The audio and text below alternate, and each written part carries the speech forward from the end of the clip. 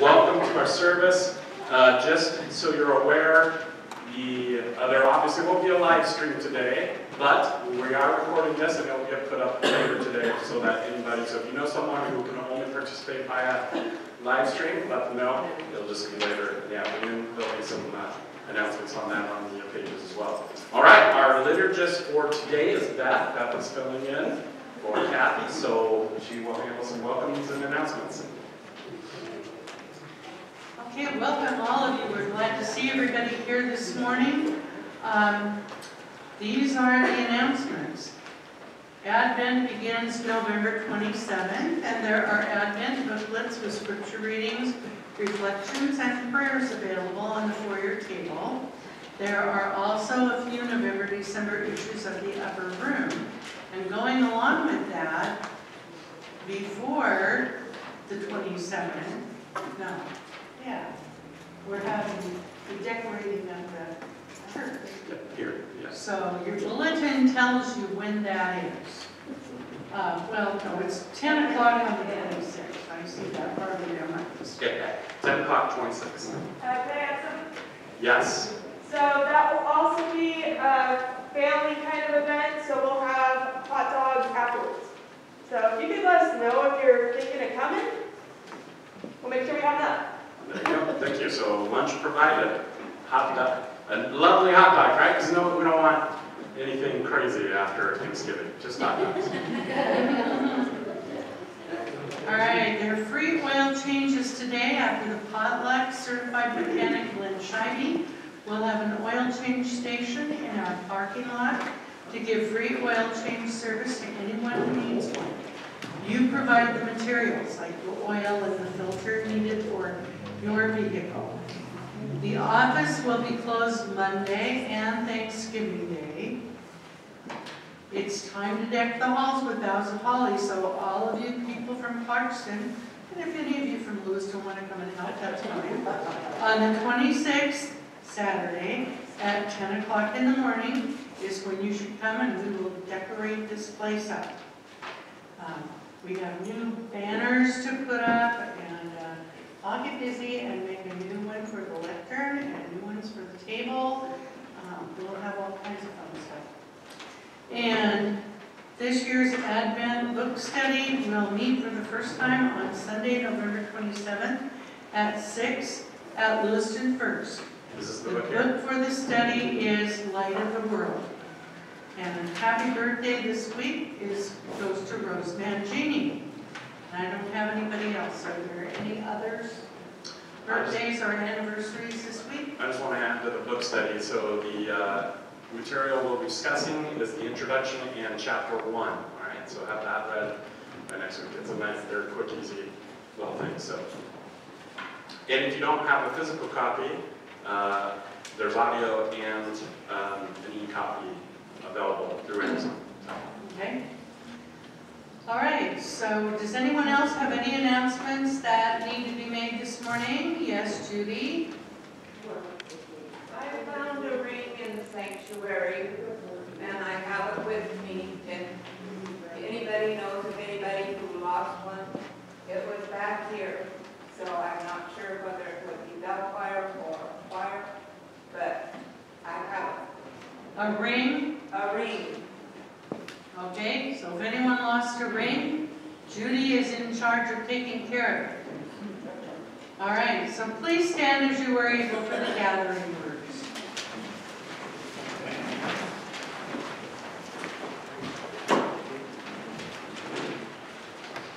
Great is the Lord. God has redeemed God's people. Let the heavens shout with joy. Let all the people celebrate God's awesome love. Shout and sing praises to God. For God has healed and restored God's people. Alleluia. Hallelujah.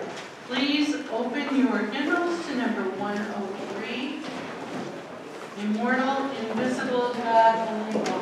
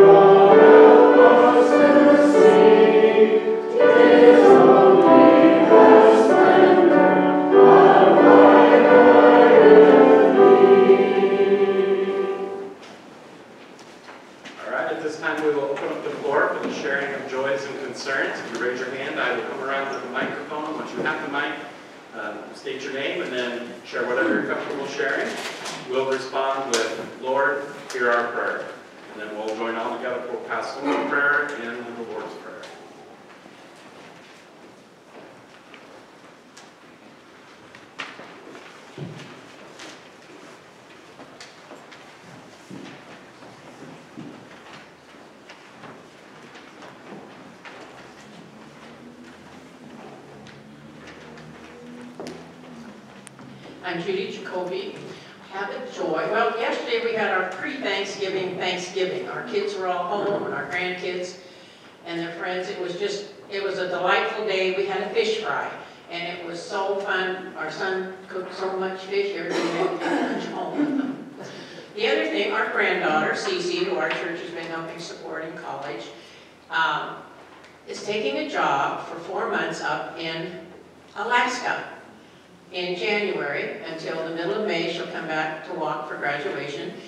And her major is in crop management. Well, she's going to be working in fisheries. She's going to be up there outside of Wrangell on a little tiny island, separate from everything. And it should be quite an adventure. She's very excited about it. Um, room and board is provided. There's going to be six people, I think, working there. Is that what she said, I think? Six people working there, three gals, three guys. They have like little cabins they'll be staying in. Her dad's not too sure about this. Her mom says, well, let's try it. And uh, she is thrilled to pieces. So, because her other I thought was doing um, aquaculture. So this way will give her an idea of which way she wants to go when she actually goes for her master's. So we are thrilled. She has a job and she is too. Thank you. Lord, I'm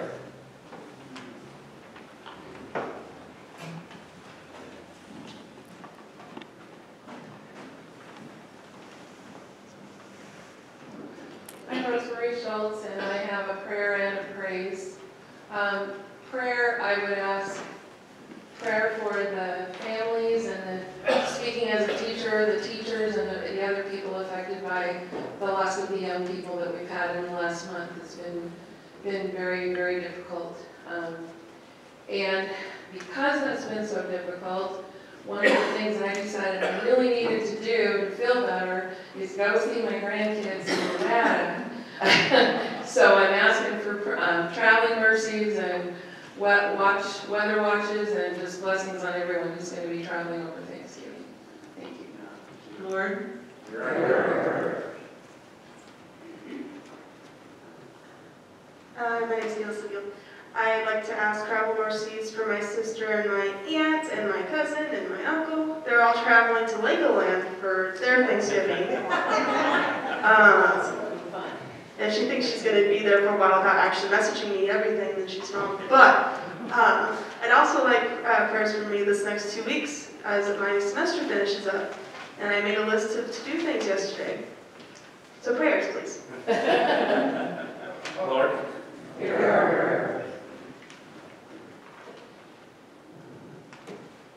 I would like traveling prayers for my homie, Alan Nathan, Nathan, who's, who is tra, who is traveling from, from, from Spokane to um, Boston and New York. Lord, hear our prayer.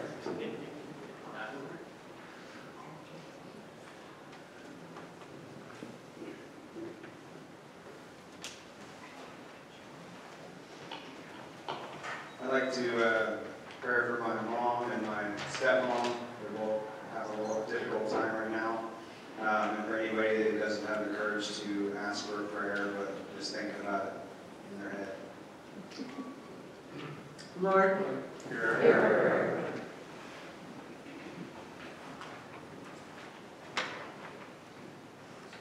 My name is Julie, and I want to pray for my sister's dad. He's not feeling too good, so heart attack and just a prayer. Lord,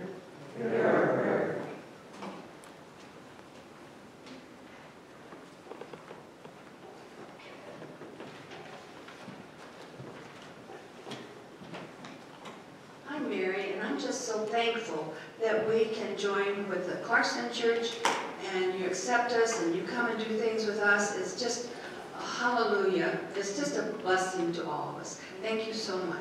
Yeah, Lord. Lord,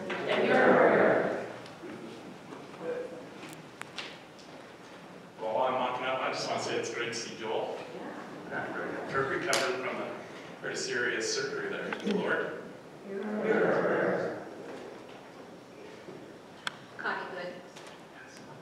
I would like to ask prayers for the Green family. Today's the first anniversary of their um, dad and husband's death. Lord,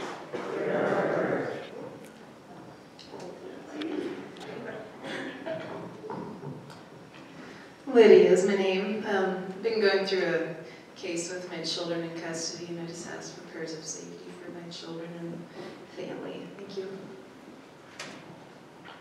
Lord,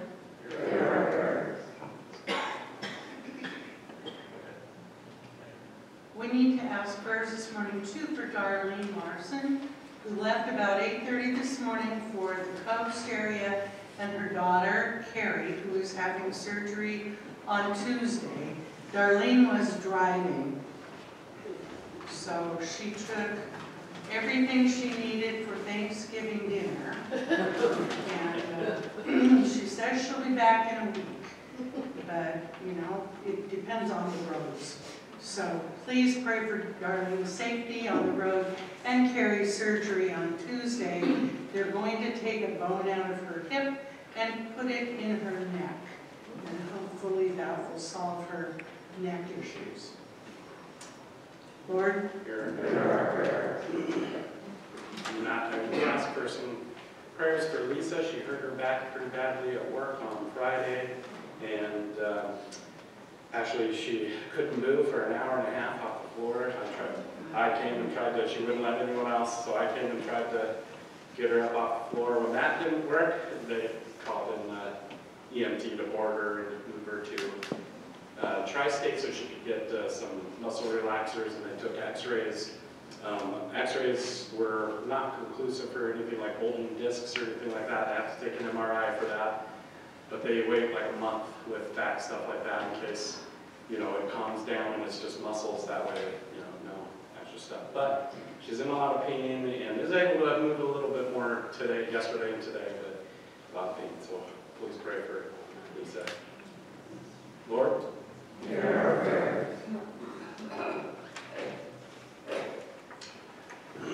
All right, if you would, please join me for a pastoral prayer, and then all together for the Lord's Prayer. God, we come before you as a, a joint community today. But really, God, we're just, we're just one. We always have been and we always will be, united by our common bonds, our love for you, our love for our neighbors, our love for each other. And God, we're thankful that we can celebrate together, as Mary mentioned, uh, just many different things able to do together uh, to build and on that uh, unity, Lord, and on that fellowship. God, we lift up to you these concerns. Today we pray for all those who are traveling, um, major distances, of course. We think of Nathan's friend who's traveling from Spokane, to, to Boston. We pray for safety there, for a good journey and arrival.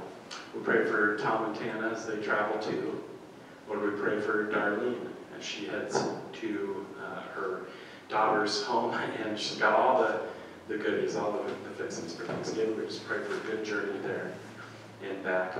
Lord, we pray for uh, Rosie as she also is traveling, Lord, for the holidays to see family, and we're thankful for that. We pray for Cece as she is heading towards Alaska soon uh, to participate in this uh, about four month, four or five month uh, occupation. Lord, we pray for a good and uh, productive time there, that she would learn more about herself, more about uh, all of the ins and outs of aqua farming and culture and uh, fisheries. And Lord, we just pray for her path from here on out. Lord, we pray for those who are uh, definitely reeling from the loss of so many young people in the last month We pray for the families of the four U of I students. We pray for the families of those uh, impacted here close to home by students, uh, freshmen, in the last month, month and a half, who've lost their lives to car accidents and different things, God. We just pray for everybody who is mourning loved ones. Lord, we lift up the family who's uh, um, walking through a one-year anniversary of the loss that Cody raised. We also pray for those who are um, working through school still during this time, semester. We think of Kay- Kaylissa and her two and, a- about two and a half weeks left and the to-do list that's growing. We pray for peace of mind for all students during these months that are coming down to finals and midterms and all these different things. God, that their mental health would be protected, that they would uh, seek out uh, UV light however they can, God, during these dark months, uh, not be sequestered inside in the darkness, but uh, would uh, refill their, their tanks so that they not um, be dragging through these months, God. Lord, we also pray for Jesse's um, mom and, and uh, stepmom. We pray for uh, their situations. We pray for, God, we all, we pray for all people who are in that situation right now everything uh, going on, winter months coming and all that. God, we lift up those who, as Jesse mentioned, just maybe holding on to prayer requests, didn't feel like sharing them, God, we know that each and every one of us carries something. So God, we lift that up to you and pray for your hand evident in our lives. Lord, we pray for Lydia and for her journey with her uh, children and the custody battle there. We just pray, God, that that a resolution would come and it would be the right one, a healthy one. And God, we pray for Lisa and for her back. We pray for healing there. We pray for, Lord, we just pray that she would uh, take it easy during uh, a, a recovery time so that it not be tweaked or, or harmed anymore. God, we're thankful for the successful surgery that Joel had, able to see him here today after a, a major surgery. We're just so glad for his presence. And God, I'm sure I'm missing lots of things, but God, we lift them up to you. You heard them all, and we know that you will work it into these situations. So we trust in you, we believe in you, and we're thankful that we can lift these up to you. And God, together we come to, uh, together as a a community, offering up as one voice the prayer you taught us to pray, saying, Our Father, who art in heaven, hallowed be thy name. Thy kingdom come, thy will be done, as it is. Give us this day our daily bread, and forgive us our trespasses, as we forgive those who trespass against us. And lead us not into temptation, but deliver us from evil. For thine is the kingdom, and the power, and the glory forever. Amen. At this time, our scripture will be from Luke, and uh, read by I'm reading from Luke 23, verses 23 through 33. It's page 89 in the New Testament section of the Bible. And I'll try to do as good a job as Kathy would have done. The soldiers brought them to the place called the Skull. There they nailed Jesus to the cross. He hung between two criminals. One was on his right and one on his left. Jesus said, Father, forgive them. They don't know what they're doing. The soldiers divided up his clothes by casting lots. The people stood there watching. The rulers even made fun of Jesus. They said, He saved others. Let him save himself if he is God's Messiah, the chosen one. The soldiers also came up and poked fun at him. They offered him wine vinegar. They said, If you are the king of the Jews, save yourself. A written sign had been placed above him. It read, This is the king of the Jews. One of the criminals hanging there made fun of Jesus. He said, Aren't you the Messiah? Save yourself. Save us. But the other criminal scolded him. Don't you have any respect for God? He asked. Remember, you are under the same sentence of death. We are being punished fairly. We are getting just what our actions called for. But this man hasn't done anything wrong. Then he said, Jesus, remember me when you come into your kingdom. Jesus answered him, What I am about to tell you is true. Today you will be with me in paradise. That is the reading of the scripture. Thanks be to God.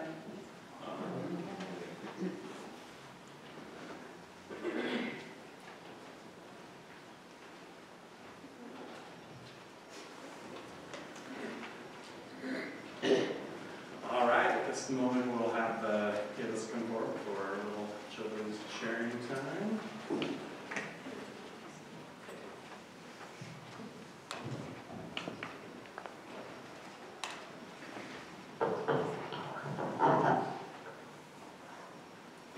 Oh, the mic's working. Sit. All right, so since um, we're running a little low on kids today, we're just gonna have everyone pray because we're practicing different kinds of prayer with the kids lately. Um, and let's see, I don't really have any special kind. We could, do- why don't we do the Johnny Appleseed one again? You guys, all, a lot of you knew that when you, for, we did it a couple weeks ago. And I have a feeling the Lewiston folks who are joining us today will also know it. So uh, we're gonna, I'll go through it once, and then if you'd like to join me for the second time, or you can join me for the first if you really want, I'm okay with not doing this whole. Um, Oh, the Lord is good to me, and so I thank the Lord for giving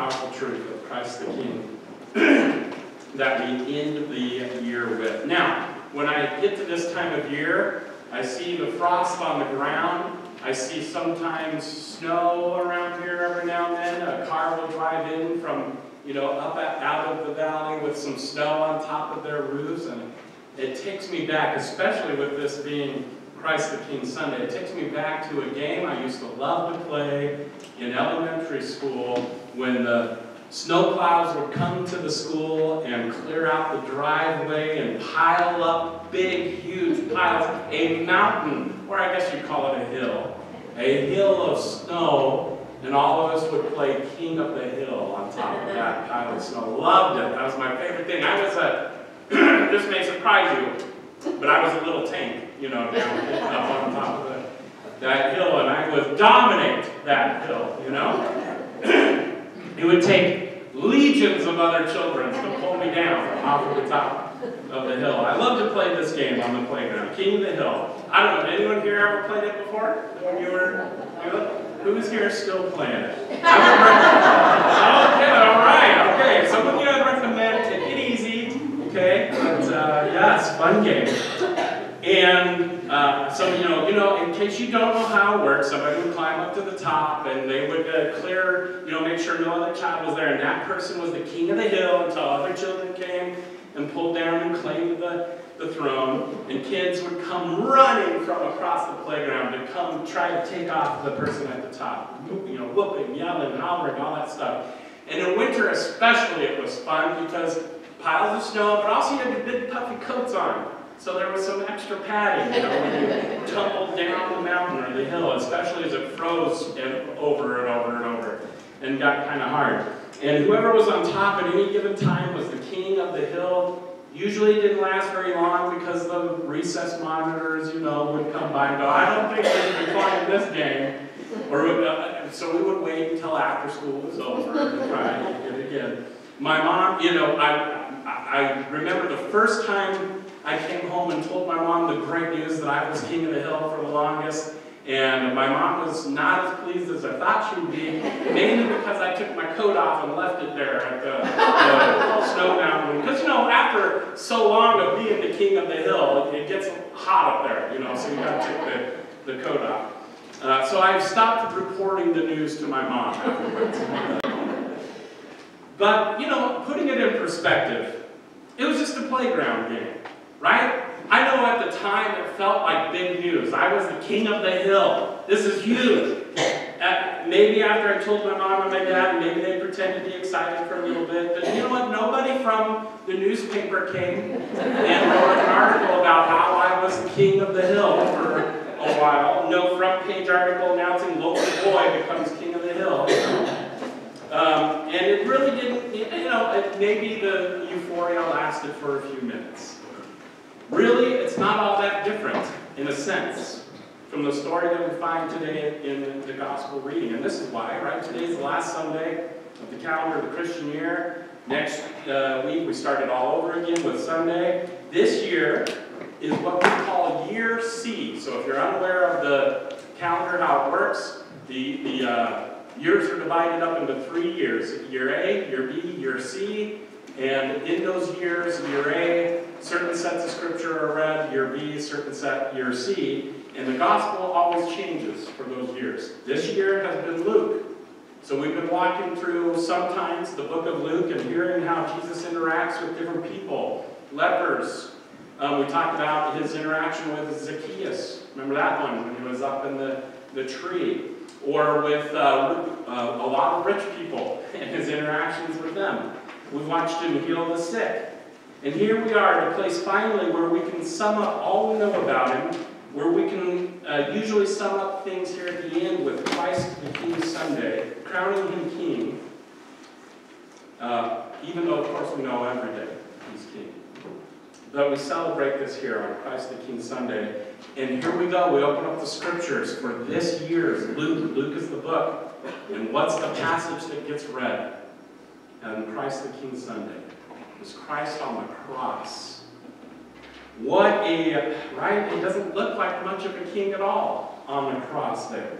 Luke says that Jesus had uh, a couple of convicted criminals marched with him out to this hill, this place of the skull, Golgotha, or the city of the, or the uh, hill of the skull, where they were all crucified, which was not unusual in that time and place. Crucifixions were, were the way that the Roman government helped maintain control. They dealt with troublemakers, hanging them up on crosses, oftentimes along roads, so that people would walk by them and see, or up on hills, so that people could see them from all over the place and, and say, Ooh, how did they make the Roman government mad? We shouldn't mess around with the Roman government. And there, in this here in Jerusalem, the place they liked to use was the place of the skull, where they took Jesus probably outside the city a little bit, maybe a pile of dirt or rocks, littered with, more than likely, skulls and bones of others who've been executed here. Luke says they crucified Jesus, which means they nailed him to a cross, they lifted him up and hung him up there to die, along with two others, one on his right, one on his left. And somebody, maybe one of the soldiers, took a sign, hung it up on top of the cross over his head, and said, This is the King of the Jews. So apparently it was a custom to hang a sign over those being executed with their charge or some statement about why they were condemned to death. On either side of Jesus, these two men, we're told they were thieves, but actually more than likely, uh, the word that uh, comes to us from Greek and Aramaic actually has more to do with rebellion, uh, sedition. So perhaps they were minor leaders of some revolts or trying to uh, rile up a crowd. They were hung on either side of him with their signs, maybe. We don't know, it doesn't exactly say. Um, but there they were. There they were put on top of this hill. They were displayed there so that everyone would walk by and learn their lesson. We don't mess around with this empire. And here we go, when the religious authorities, when they brought Jesus in front of Pontius Pilate, they asked Pontius Pilate to deal with this troublemaker. They told him, hey, he's calling himself a king. So the sign over the head said, this is the king of the Jews. It was there to tell everyone who might be looking, this is what the Roman Empire does to people who try to make themselves king. There is no king but Caesar. Now, if you've read the text, if you know the story, that's actually not why the chief priests and the elders had problems with Jesus. They didn't care if he called himself a king. They didn't have any loyalty to Caesar. In fact, most of the time they had problems with Caesar. Their problem with Jesus, as they said over and over, was blasphemy. That the things he did and the things he said equated himself equal to God. And according to their law, anyone who did such things must be put to death. This is in their Old Testament uh, book of Leviticus. In this gospel, they say, if you are the Messiah, that is, if you are God's anointed one, tell us. And Jesus says, if I tell you, you will not believe. And if I question you, you will not answer. For from now on, the Son of Man will be seated at the right hand of the power of God. So then all of them asked in Luke chapter 22, Are you then the Son of God? And Jesus answered, You say that I am. And for them, that settled it. What more testimony do we need? We've heard it ourselves from his own lips. So the religious authorities wanted him dead because he claimed to be not only the Messiah, but also the Son of God. The Romans wanted him dead because any claim to be king was a threat to their sovereignty. In the end, it was the Romans who nailed him to the cross, but it was the, but the charge over the head could be read both ways. This is the King of the Jews, it said, meaning this is what we Jews do with blasphemers who claim to be the Messiah. And this is what we Romans do with insurrectionists who claim to be king. Either way, this is an odd passage to choose for Christ the King Sunday. Because when it is clear that claiming to be king can get you killed, why would we dwell on this passage of Scripture? When you put this scene in perspective, it becomes even more pitiful, doesn't it? Here are three men dying on a dusky hill, some faraway corner of the Roman Empire. And not only are they dying, but they are being executed as criminals. One of them has a sign over his head saying, This is the King of the Jews, but it's easy to see that this sign was meant as a joke. Nobody thinks he's king. The religious authorities taunt him, saying, He saved others. Let him save himself if he is the Messiah, the chosen one. The soldiers come next. They mock him, and they say, If you are the king of the Jews, save yourself. And one of the criminals even joins in on the mockery. Are you not the Messiah? Save yourself and save us too. But the other criminal, the so-called good thief, rebuked the first one by saying, Hey, don't you even fear God? You're under the same sentence, and we have been condemned justly. We're getting what we deserve. But this man has done nothing wrong, and so he said to Jesus, Remember me when you come into your kingdom. I don't know why he said it. Who knows why he said it? Maybe he figured that under the circumstances it couldn't hurt. Right? But Jesus, who by this point could hardly even lift his crown, uh, thorn-crowned head, receives the request as if he were just such a king. Truly I tell you, today you will be with me in paradise. Now, I'm guessing that this story the next day didn't make the newspaper headlines. In the context of the sprawling Roman Empire, you got to think about how vast their territory was. In the context of this massive amount of land, this one little person with a small group of followers, 12, maybe 50, 70, all disappeared mostly by this time, except for some women and one disciple. Not very newsworthy in the grand scheme of this massive empire where they crucify people every day, all the time. It didn't matter that there was a sign over Jesus' head. It didn't matter that for a few agonizing hours he might have been king of this little hill called the skull. Because now he's a corpse in a borrowed tomb. Within a few days, they no doubt thought his life and death would pass out of the memory of all people. We'd all move on. Next Messiah, please. Except for this one little thing. According to our best and most reliable sources, Jesus didn't stay dead. On the third day, as we say, he arose, and that changed everything.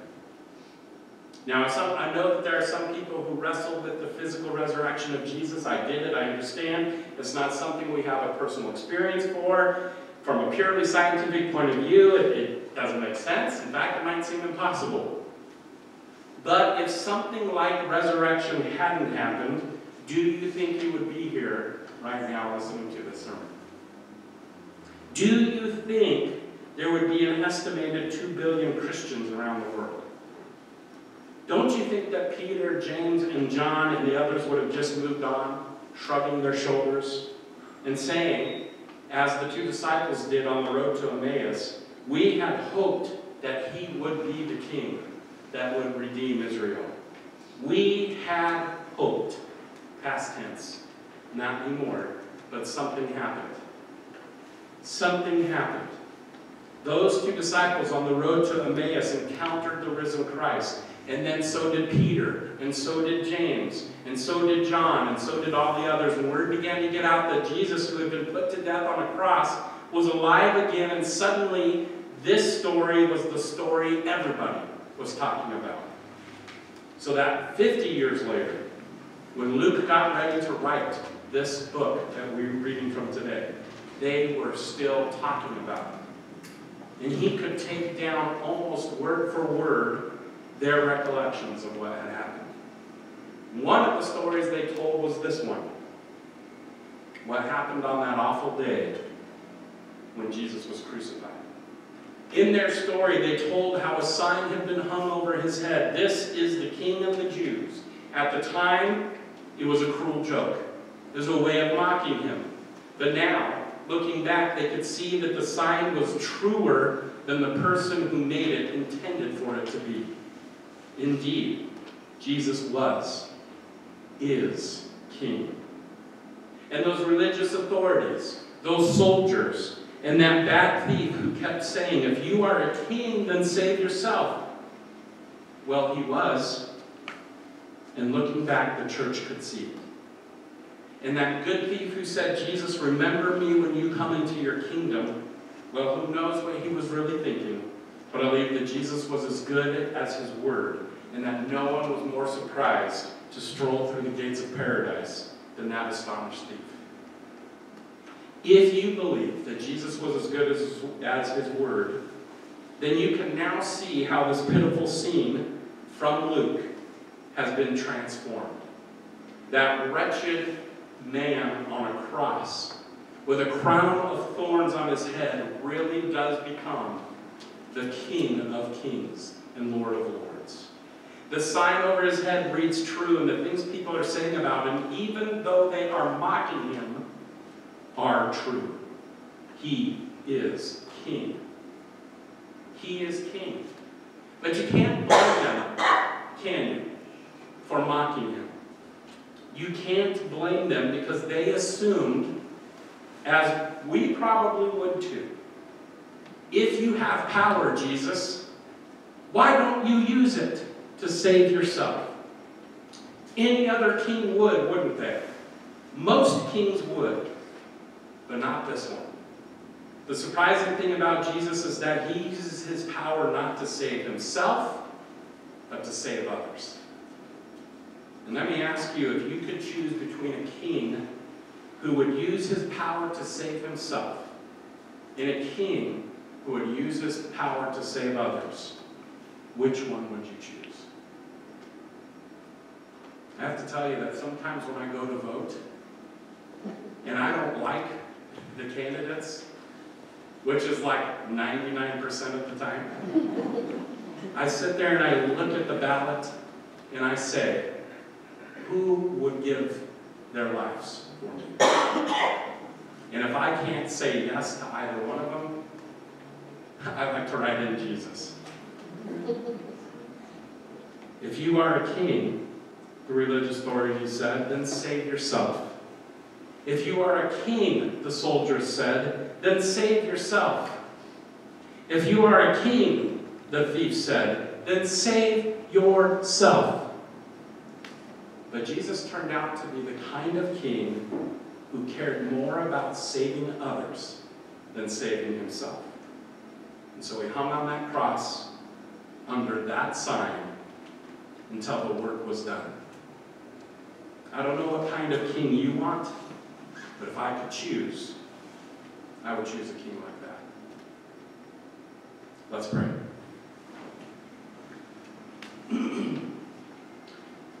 God, on this Sunday, where we recognize the reign of Christ, we recall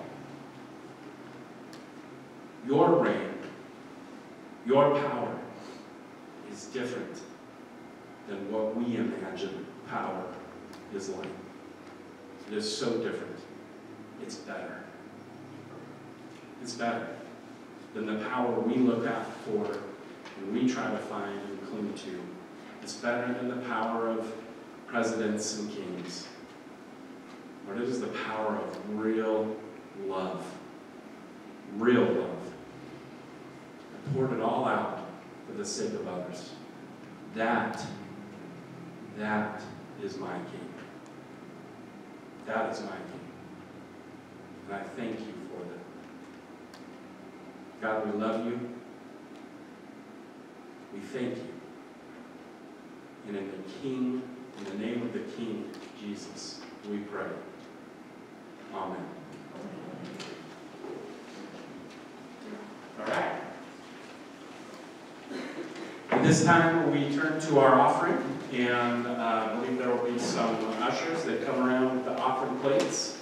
And we want to thank you for your generosity. If you are here from the Lewiston, if you want to, the church, if you uh, want to mark that it's for Lewiston, we'll make sure that gets set aside and that that gets to uh, Lewiston for you. Uh, And that will, you- you can trust our counters, I've trusted them. They will, they will make sure it happens. But if you need an envelope, there might be some in there. If not, you know, just put a little note, wrap it up. We'll make it work somehow.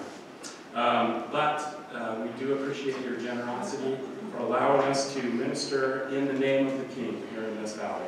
Thank you.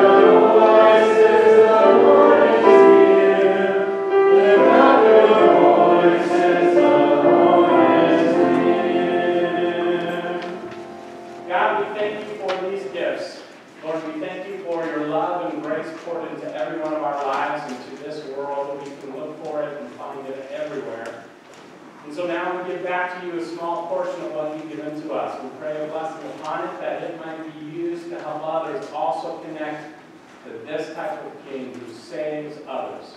We love you, God, and in Jesus' name we pray. Amen. If you would please remain standing for our closing song. It's in the black hymnal, hymn number 2008-2008, Let All Things Now Live